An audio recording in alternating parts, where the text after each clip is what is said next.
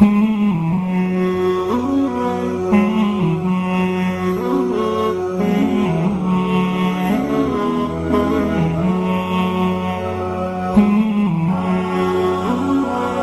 Seven Habits of Truly Successful People.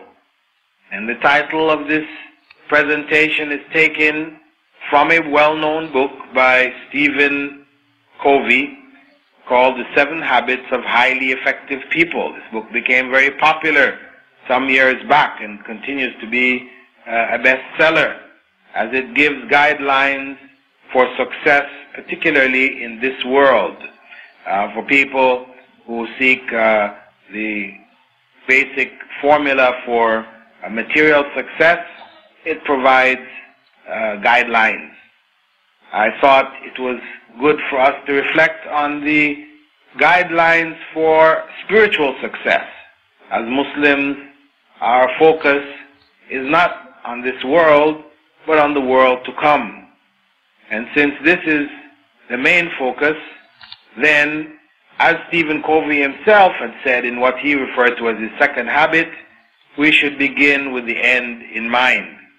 And the hereafter being the goal, then we should have lives which reflect that goal.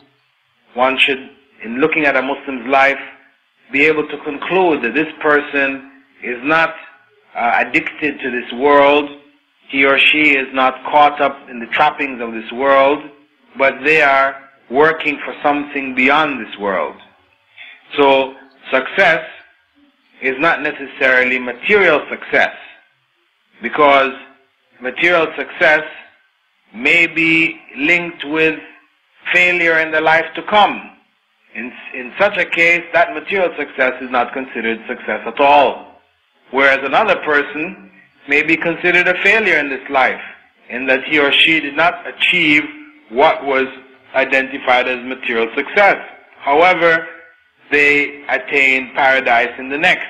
In that case, they really were successful in this life because they had done what was necessary, what was required of them by Allah subhanahu wa ta'ala to attain success, the ultimate success in the next life, which is none other than paradise. So they have lived as the Prophet ﷺ had uh, taught us in a authentic hadith found in Sahih Muslim, "Ad-dunya sijnul mu'min," that this world is a prison for the believer, wa jannatul kafir, and paradise for the disbeliever. So, as a believer, we restrict ourselves to what Allah has permitted, and we avoid what He has forbidden because our goal is ultimately His pleasure. And if He is pleased with us, then we will attain that uh, greater goal for which we were put in this life This life being merely a test. So we seek the greater goal, but it doesn't mean that we also forget uh, the portion which has been set aside for us in this life.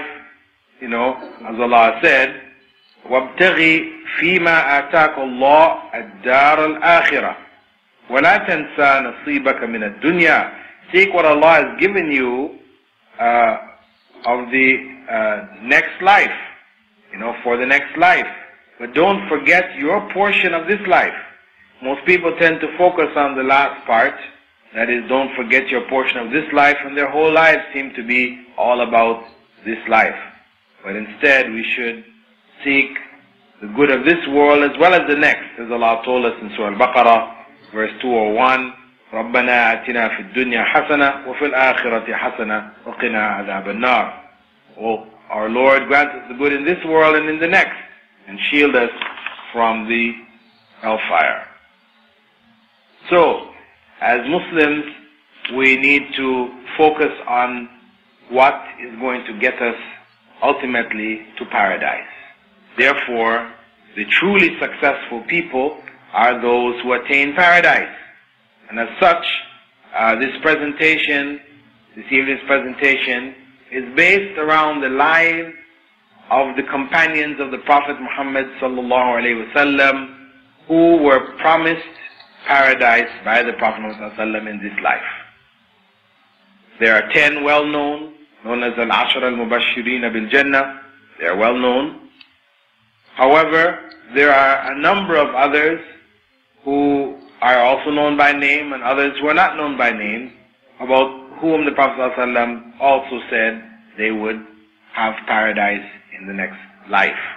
Now, such a promise for most of us today would, would cause us to become lazy. A person knows that he is guaranteed paradise, you know, he would tend to lean back and relax and not make any efforts. However, that promise which was given to those companions by the Prophet ﷺ did not make them spiritually lazy. Instead, they were urged to do greater righteous deeds.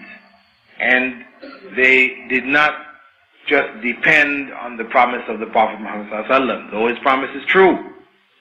And as an example, Abu Bakr, when he was on his deathbed, and he was praying to Allah and asking Allah's forgiveness, he was reminded by those around him of the Prophet ﷺ's promise as he was among the ten who were promised paradise, uh, that group of ten. And he replied to them, those who were around him, who said that, uh, you already promised paradise, so why are you, you know, trying to, uh, so, so hard to pray and, you know, calling on Allah and seeking forgiveness so hard, you know, when you've already been promised paradise? His response was, even if one of my feet were in paradise and the other outside of it, I would not feel secure from Allah's plan. So this was uh, the approach of Abu Bakr and the remaining companions towards this promise. Now we will begin to look at the characteristics and traits of the truly successful, the seven habits of truly successful people.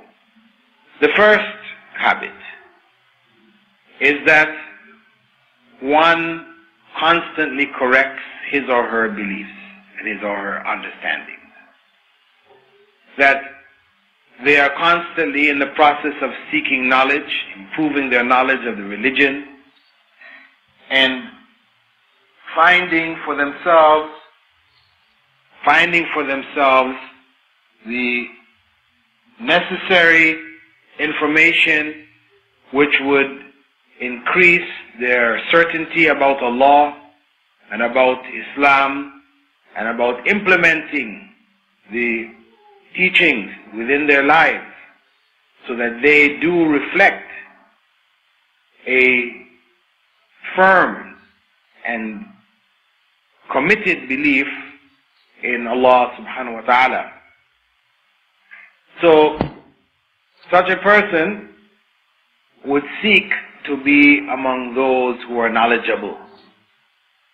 The ulama, to be an alim, one who knows about the religion. Because as Allah said in Surah Fatir, verse 28, إِنَّمَا يَخْشَى اللَّهِ مِنْ عِبَادِهِ الْعُلَمَاءِ Indeed, of Allah's servants, it is the scholars who truly fear Him. So, Muslim strives for this. Prophet ﷺ told each and every Muslim طلب العلم فريضة على كل مسلم seeking knowledge is compulsory for every Muslim so each and every Muslim strives to gain that knowledge knowledge of Allah knowledge of the deen knowledge of its implementation you know which would then put them on that path to paradise as the Prophet ﷺ had said also in another authentic hadith من سلك طريقا يلتمس فيه علما سهل الله له طريقا إلى الجنة whoever takes a path uh, on which he or she seeks knowledge. Allah makes the path to paradise easy for them. This is the promise of the Prophet Muhammad. And when we look into the lives of the companions, we see among them Umar ibn al-Khattab noted for his knowledge. Prophet Muhammad on one occasion, uh, in a hadith found in both Sahih Bukhari and Muslim, he related while I was sleeping, I saw a cup of milk offered to me in my dream. I drank from it until its freshness was reflected through my fingernails. Then I gave the remainder to Omar ibn al-Khattab. When he related this dream to the people, they asked him, O Messenger of Allah, how do you interpret it? And he replied, it refers to knowledge. That cup was given to Umar ibn al-Khattab. And sure enough, Umar ibn al-Khattab was the one who gave the best advice as to what to do with the prisoners after the Battle of Badr.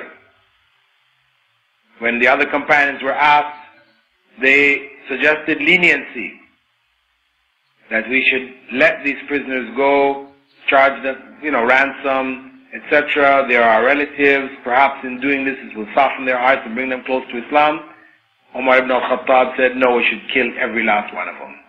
Each one should be given his relative, and he should be responsible for killing that relative himself, showing how he cut his ties with uh, the disbelief. And these people, these are the leaders of the pagans and the disbelievers from Mecca who had harmed the Muslims, tortured them, driven them out. They should be executed.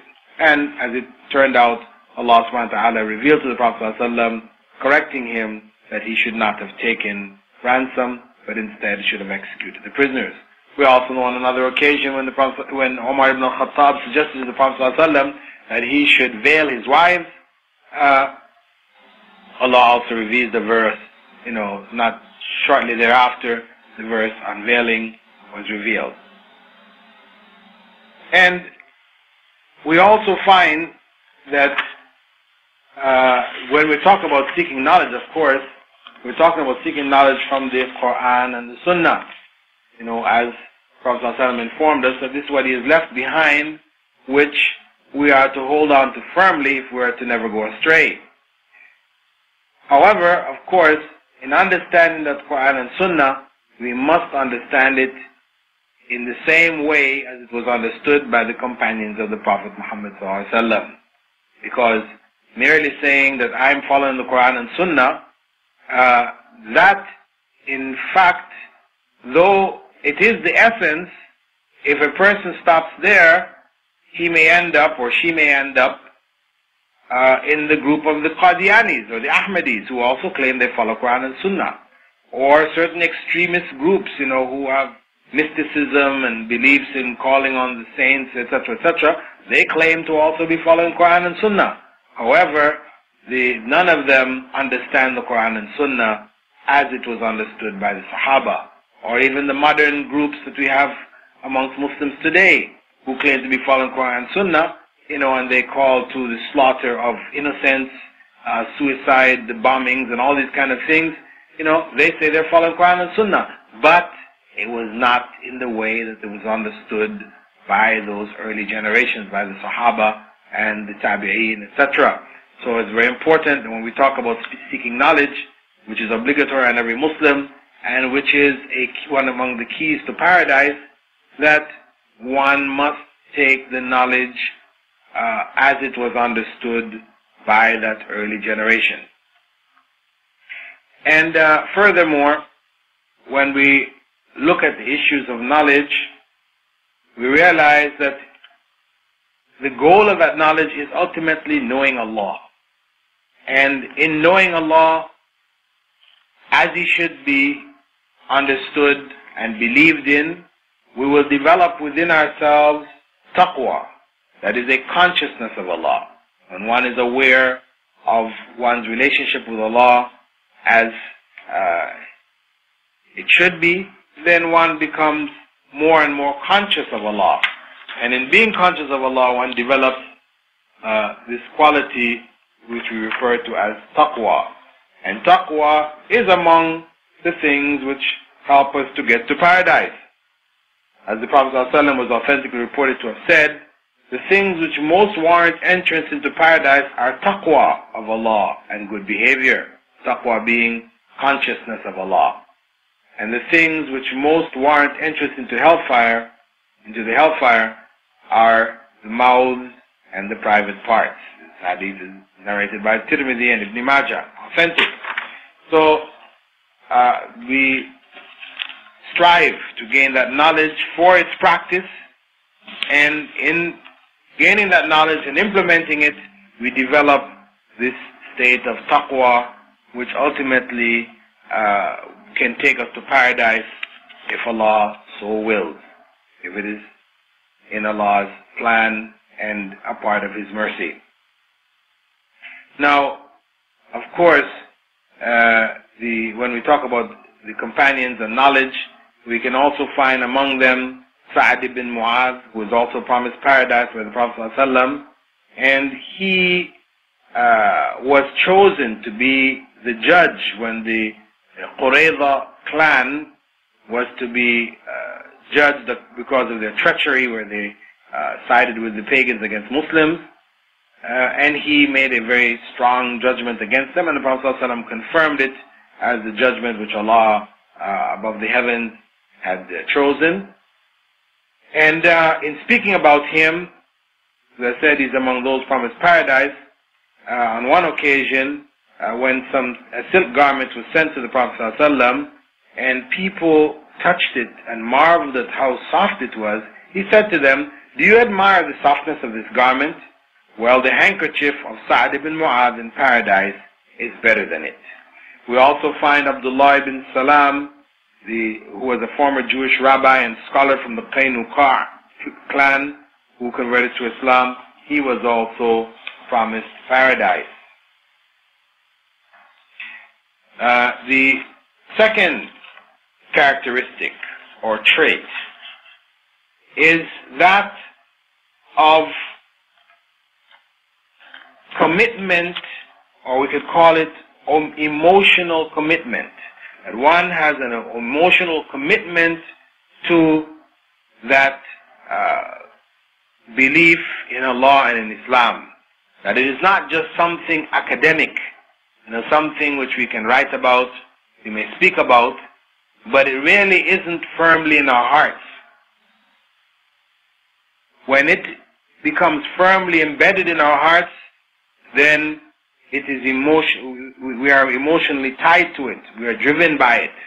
And this is very important because uh, that, that the emotional commitment should follow the knowledge. Because if people become emotional commit, emotionally committed to things prior to the, them having correct knowledge about it, then it's very difficult for them to accept correct knowledge.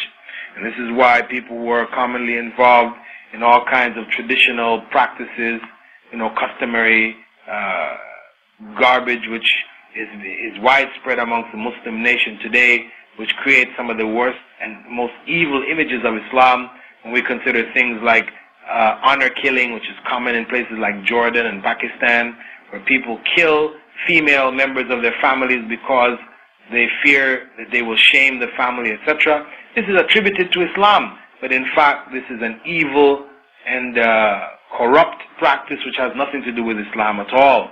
But this is custom, and if one tries to speak to Jordanians or Pakistanis who are involved in this stuff about it, it's very difficult for them to accept because they're emotionally committed to the practices of their culture.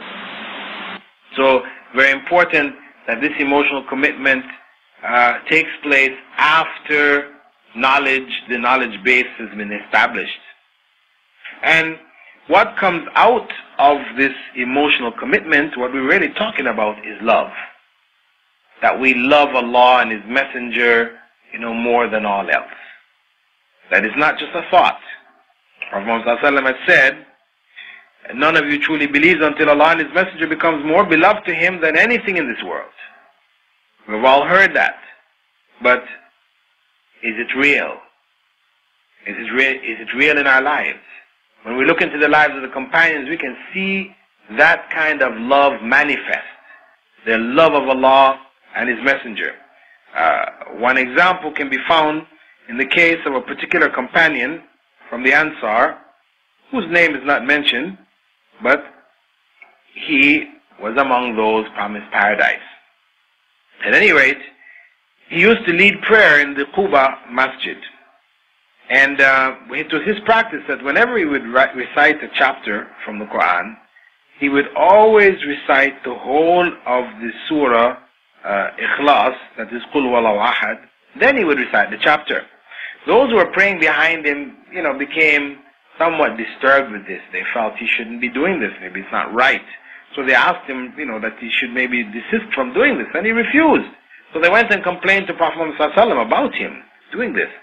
And uh, the Prophet called for him. When he came, he asked him, What prevents you from doing what your companions have asked you? And what has caused you to recite this chapter in every unit of prayer? The man replied, O Messenger of Allah, I really love it. The Prophet said, Your love of it has put you in paradise. So here's the love for the word, word of Allah. The word of Allah, which is eternal, uncreated. This is a part of Allah. That love for it, like the love for Allah, if it is deeply embedded in the heart, the reward is none other than paradise. So, when we look, as I said, in the lives of the companions, we see this love manifest. And this love is something which develops out of uh, an awareness of Allah, awareness of the many uh, bounties that He has given us in, in our lives, uh, by being conscious of it and being thankful to Him, then this helps to develop the love. And this is why from the very uh, prayer, the Surah Al-Fatiha, which we say in all of our daily prayers, uh, we can see in it that focus on thanking Allah, because it begins with Alhamdulillahi Rabbil Alameen. All praise and thanks are due to Allah, the Lord of all the worlds. And we find Prophet ﷺ also saying, whoever does not thank people does not thank Allah, putting stress on this issue of thanking, thanking people, being thankful. You know, uh, that um, uh, he, Prophet Muhammad you know, had said that we should look to those uh, below us and not to those above us because it helps us to remember Allah's favors so again we can be thankful. This all helps to breed and develop love in the hearts of the believers. And that, that love for Allah which should be greater than all else. As Allah said in Surah Al-Baqarah verse 165, وَمِنَ النَّاسِ مَن يَتَّخِذُ مِن دُونِ اللَّهِ أَنْدَادًا يُحِبُّونَهُمْ كَحُبِّ اللَّهِ وَالَّذِينَ آمَنُوا أَشَدُّ حُبًّا لِلَّهِ And there are among some people those who take partners besides Allah, whom they love as they love Allah. But the believers love Allah more than all else. So this concept of loving Allah and its opposite, that of fearing Allah's displeasure. These are all uh, part and parcel of the same principle, the two sides of the same coin. Loving Allah, fearing His displeasure. And the Prophet ﷺ had said, you know, that the fire will not touch a person who cries out of the fear of Allah until milk returns to the breast. Again, it said this is that fear for Allah's displeasure. Also, Prophet ﷺ had said, Two eyes have been forbidden to the fire, an eye which wept out of fear of Allah, and one which stayed open throughout the night guarding Islam and his family from kufr. And also we find Prophet ﷺ saying with regards to the seven who were shaded under Allah's throne on the day when there's no shade, he mentioned one as being one whose eyes fills up with tears whenever he remembers Allah in private. So this characteristic, you know, of being, of having a soft heart which trembles when it reflects on Allah, which causes tears to come to one's eyes when Allah's words are recited, when one reflects on Allah. Now, this is among the characteristics of the truly successful. That they fear Allah's displeasure, are moved to tears with regards to it. They love Allah more than all else. Now, developing this love is not necessarily something, uh, you know, it's not something we're born with. It is something which has to be worked on. We work on it on a number of different levels. We work on it first and foremost by developing our taqwa. Taqwa leads to the love of Allah. It is the inner dimension of obedience. And it has been identified as the source of knowledge about piety. And Allah tells us, Ittaqullah wa yu'allimukumullah. Fear Allah and Allah will teach you. That is Surah Al-Baqarah verse 282. You fear Allah, and Allah will teach you what you need to know. I mean, even if you have no great knowledge, what you need to know, Allah will teach you if you develop this taqwa. And as I said, it is the foundation for that love of Allah. Secondly, one should strive to increase one's knowledge by reading the Quran and the Sunnah. Because uh, when one does so, one is guided by Allah. Those who strive and struggle to gain this knowledge, Allah promises to guide them. As Allah said, وَالَّذِينَ جَاهَدُوا فِينَا لَنَهْدِيَنَّهُمْ سُبُلَنَا I will guide those who strive for my sake to my path. Surah Al-Ankabut, verse 69. Again, also, what helps to soften the heart and develop that love of Allah is to visit the graves and remember death. This uh, uh, visiting of the grave is to remind us that this world is a passing thing. It's not going to be around, and we're going to end up in the same place that the people in the grave are. So we need to back off uh, and give up our addiction to the material world. The fourth characteristic or, or principle is that we should seek forgiveness. Whenever we're involved in fall into sin, as we're human beings, this is going to happen. We should always turn back to Allah, seeking His forgiveness. This is critical. Fifthly, we should make uh, prayers sincere. By making prayers sincere, again we develop that love of Allah. Abu Ayyub al-Ansari had related that a man had asked the Prophet ﷺ to teach him some brief words, and the, and the Prophet ﷺ said to him, Whenever you stand for prayer, pray a farewell prayer. Pray as if you are leaving this life. There's nothing else left for you. Don't say any words you will later regret, and don't wish for what others have. Pray a farewell prayer. Sincerity in prayer is very important for developing the love of Allah.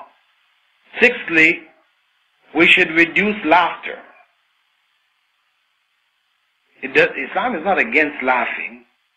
It's good for us to be happy, to be joyful, laugh with our children, our friends, etc., etc. But it shouldn't become a, a, a, normal, uh, continual characteristic of ours. We're always, you know, joking and laughing about something. You know, so whole, everything is just a big joke. Life becomes a big joke. No. This is not among the characteristics of the true believers. Abu Hurairah quoted the Prophet as saying, Don't laugh too much because excessive laugh kills the heart. It deadens the heart. We lose our seriousness for things. And if we're normally serious, we're taking in a light-hearted manner. So eh, our hearts become hardened. And of course, how then can we love Allah? The Prophet ﷺ also advised us, saying, O people, cry. If you can't cry, then make yourself cry. The authentic hadith is reported in Sahih al-Targhib you know, forcing oneself to cry. I mean, uh, one might say this is kind of hypocritical. No. But, you know, if one's heart is hard and one is not able to cry, then we just fake it, make ourselves cry. Eventually, by doing it on a regular basis or trying to do it often, the, the reality of it will come to us. And of course, when I say do it on a regular basis, I'm not talking about, you know, uh, doing it in public places in front of other people, you know, where uh, we may end up in Riyah, you know, doing things seeking the praise of others. The last major point is that we should pray for that love and that humility and that fear. Muhammad used to make the dua, Allahumma inni a'udhu bika min ilmin la yanfa' wa min qalbin la yakhsha' wa min aynin la tadma' min du'a'in la yustajab. O Allah, I seek refuge in you from knowledge of no benefit, from a heart devoid of fear, and from an eye without tears, and from unanswered supplication. This is uh, dua we should make often. Uh, perhaps, inshallah, Allah will put in our hearts a softness which will allow us to cry when we should cry. Not crying over things that we really shouldn't be crying over. We watch a football game or we hear about our favorite team losing. This brings us to tears. Our eyes are filled with tears. But then when we hear the Quran, nothing happens. It's telling us there's something wrong in our lives here. You know, uh, if these things have become so important to us, they're moving us to tears. The material things in the world around us bring us to tears left and right. But when we try to get close to Allah, when we pray, when we listen to, to the Quran, read the Quran, etc., we do not uh, find any tears coming to our eyes. This is telling us that we are far away, far away from the path. And uh, the third characteristic or habit is that of having complete trust in Allah We need to have complete trust in Allah if we want paradise. This is among the major characteristics. Allah said in the Quran, وَعَلَى اللَّهِ فَلْيَتَوَكَّلِ الْمُتَوَكِّلُونَ It is in Allah that those who trust should put their trust. وَمَنْ يَتَوَكَّلْ عَلَى اللَّهِ فَهُوَ حَسْبُهُ And Allah is sufficient for whoever puts their trust in Him. So this issue of trusting in Allah is something strongly recommended. And uh, we have the narration from the Prophet ﷺ, uh, found in Sahih Muslim, in which he mentioned a dream that he had had. And he said, The nations were presented before me, and I saw a prophet with a small band of followers, and another with only one or two people, and yet another having no one with him. When I saw a large group, I thought it was my nation, but I was told it was Moses and his people. Then I was told to look at the horizon, where I saw a very great group, and I was told, This is your nation. There are among them 70,000 persons who will enter paradise without any reckoning and without any punishment. Prophet then went on to say, There are those who do not make incantations themselves, nor do they ask that it be done for them, nor do they read bad omens into events, and they place their trust in their Lord. After saying this, one of the companions by the name of Ukasha ibn Mihsan, he jumped up and said, O Messenger of Allah, pray to Allah that He make me one of them. The Prophet ﷺ said, You are one of them. Then another man jumped up and asked, O Messenger of Allah, pray to Allah and make me one of them also. Prophet ﷺ turned to him and said, Ukasha has beaten you to it. So this idea of trusting in Allah, you know, uh, completely, and this doesn't mean that one gives up on utilizing the cause and effect uh, things of this life. That we just ignore them. We say, I'm trusting in Allah. I'm not going to try to do what is necessary for me to do at all. And in this case, you know, I want to get education. You know, um, I want to go and learn Arabic, but I'm just going to stay at home. I'm just going to keep doing what I'm going to do because if it is Allah's will, it's going to come to me. No, this is not tawakkul. This is tawakkul. You know, this is wrongly placing one's trust in Allah. The right placing is where we do everything we can and then we leave the rest to Allah. As in the case of the well-known hadith wherein the companion came into the, the masjid of the Prophet ﷺ, and as he was about to sit down, he remembered that he hadn't tied up his camel. So he asked the Prophet ﷺ, should I Go back in time, I can Allah should I trust in Allah. The Prophet ﷺ said, Aqilha wa tawakkal. Tie it up and then put your trust in Allah. This is the way. Uh, we put our trust in Allah after we've done everything in our power to do so. But in particular, the, use of incantations, where people make recitations, etc., over the, those um, who request it, uh, the Prophet ﷺ said, if one avoids this, I mean, though it is something recommended, he did it, showing that it is permissible to do it.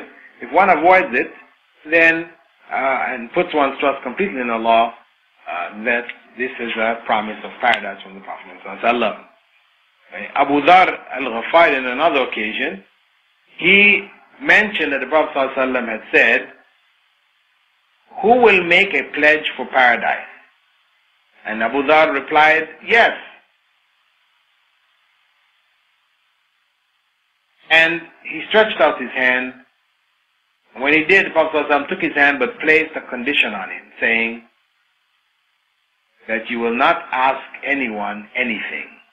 And Abu Dhar said, yes. He accepted it. And he added, he, and the Prophet added, even if your whip falls, you must dismount and pick it up yourself.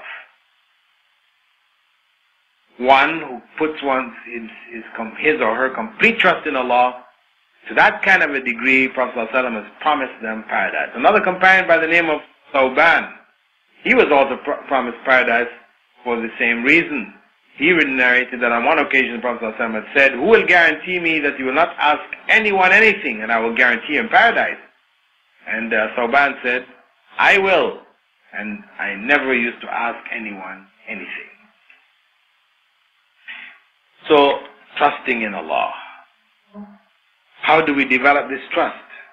Again, it's not something we're born with. It's something we work on, strive for, and inshallah Allah will give it to us. We develop trust by first and foremost having the correct belief and knowledge about Allah. If we know about Allah and how He relates uh, to us, how He functions in our lives, we have the correct picture, the correct image, then we can uh, develop the trust in Allah that we should have. For example, Allah tells us that perhaps you might dislike something which is good for you, and you may like something which is bad for you. Allah knows. And you don't know.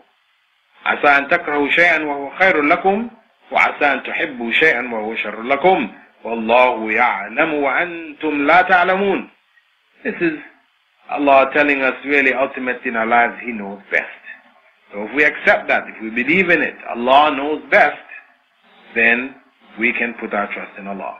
Also, if we reflect on Allah as being the just. He does not oppress anyone. As Allah said in Surah Kahf, verse 49, وَلَا يَظْلِمُ رَبُّكَ أَحَدًا And your Lord will not oppress anyone. Knowing that means that one does not have to worry if it appears that one is being oppressed, etc., that Allah is going to straighten that all out. In, if it's not in this life, it will be in the next. Also, by knowing that uh, after every difficulty we're faced in life, ease is going to follow. This also helps to build our uh, trust in Allah. As Allah said, إِنَّ مَعَ yusra. With every difficulty comes ease. Surah Ash-Sharh. So, by knowing about Allah in this way, this helps to give us a foundation for trusting in Allah. Also, if we read from the examples of the lives of the early prophets, and Prophet Muhammad of course, first and foremost, and the lives of the righteous, mentioned in both the Quran and the Sunnah, the lives of the Sahaba, etc., when we read about the sacrifices and the struggles that they went through, and how they put their trust in Allah, this can help to motivate us.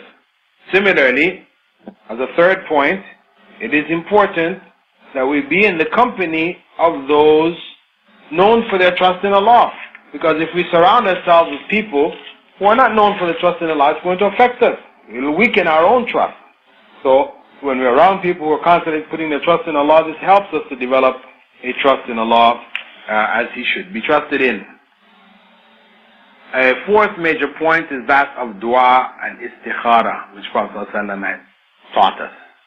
That whenever we make a decision on a matter, we should pray two units of prayer and make the supplication, the supplication of dua and istikhara, which is basically a dua uh, putting our trust in Allah. Because we are basically turning things over to Allah that you know best, what's best for us, and we don't know.